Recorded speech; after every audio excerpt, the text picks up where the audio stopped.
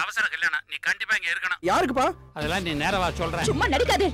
அந்த ஆத்துக்கு மூத்த பிள்ளை நீங்க. உங்களுக்கு இல்லாம வேற யாருக்கு இருக்கும்? நல்ல வேலை. முகூர்த்த நேரத்துக்குள்ள வந்துட்டியே. போ சீக்கிரமா ரெடி ஆகி வா. எதுக்குப்பா இவ்வளவு அவசரம்? சூழ்நிலை அப்படிப்பா.